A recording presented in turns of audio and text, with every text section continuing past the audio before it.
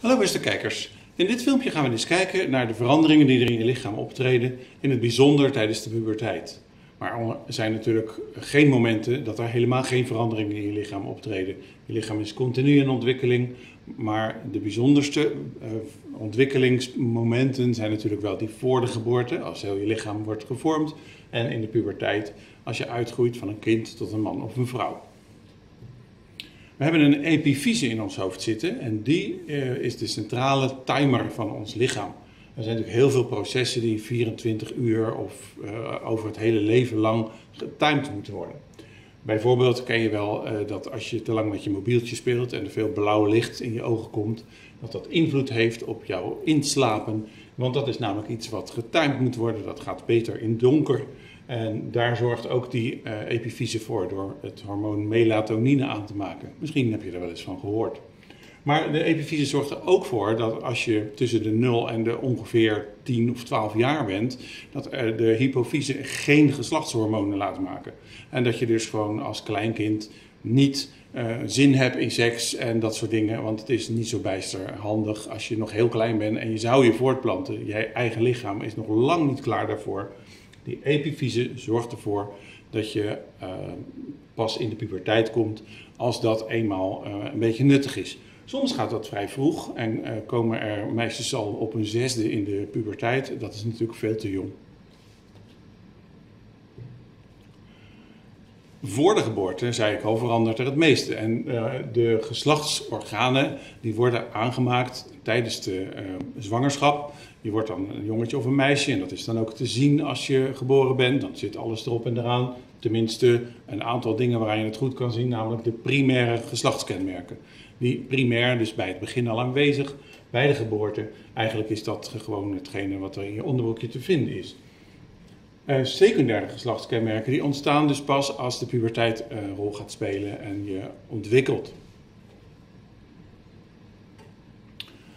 In die uh, baarmoeder tijdens de zwangerschap is er dus een piek geweest in geslachtshormonen. Daarna mocht de hypofyse daar een poosje niks mee doen omdat je moest groeien. En op een gegeven moment krijgt de hypofyse weer vrij spel en mag de puberteit beginnen met het aanmaken van geslachtshormonen. En dan krijgen we dus de secundaire geslachtskenmerken die zich gaan ontwikkelen.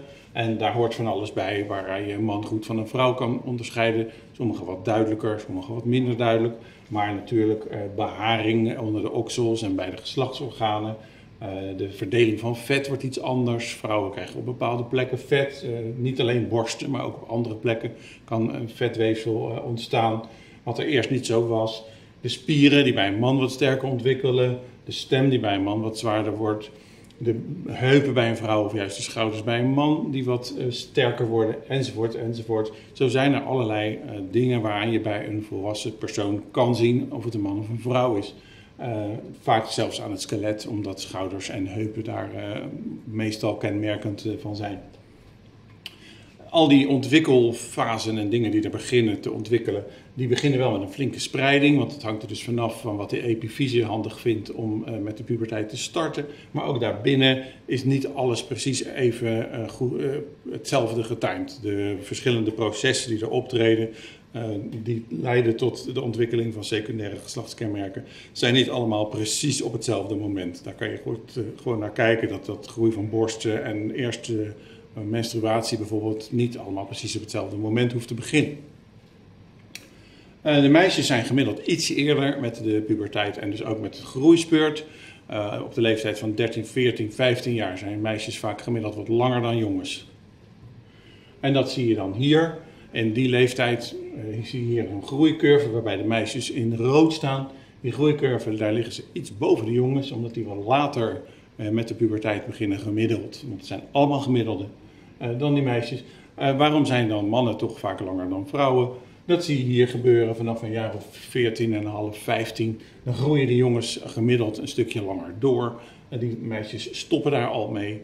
En daardoor zal uiteindelijk die man gemiddeld wat langer zijn dan de vrouw. Terwijl er dus tussen uh, 12 en 15 jaar ongeveer een tijd zit dat de meisjes gemiddeld wat langer zijn. Gewoon vanwege hun eerdere start met de puberteit. Nou, er hoort natuurlijk heel veel bij de puberteit nog aan allerlei veranderingen in je lichaam. Want het is niet alleen het lichaam zelf wat verandert. Er zijn ook geestelijke en sociale veranderingen. Je moet trouwens letten op de spelling van puberteit. Je kan het ook met tijd in de vorm van T-I, een lange I-D schrijven. Het is de tijd dat je puber bent, maar uh, de officiële spelling is puberteit op deze manier. Um, kenmerkend is bijvoorbeeld wel dat uh, zegt: puberteit is als je ouders vervelend beginnen te worden. Je ouders zijn waarschijnlijk niet heel erg anders met jou aan het omgaan tijdens de puberteit, maar jij zelf bent natuurlijk juist aan het ontwikkelen. Uh, andere verhouding tot die ouders dus, maar ook tot leeftijdsgenoten. Je gaat misschien meer groepen vormen en niet meer alleen maar met één beste vriend of vriendin om. Je krijgt wat sterkere verliefdheden, je krijgt, gaat wat meer naar het andere geslacht kijken of naar hetzelfde. Um, en je hebt heel veel, uh, uh, komt het voor, dat uh, jongeren onzeker zijn over hun lichaam, over hun status, over hun gevoelens, enzovoort, enzovoort.